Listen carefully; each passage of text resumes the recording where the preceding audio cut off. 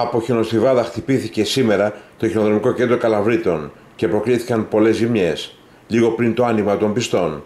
Το χειμερινό φαινόμενο των βουνών δημιούργησε προβλήματα τα οποία αντιμετωπίζονται όλες αυτές τις ώρες από τα συνεργεία του χιονοδρομικού κέντρου. Όμως, μέχρι να ολοκληρωθεί η διαδικασία, για λόγους ασφαλείας οι πίστες έμειναν κλειστές.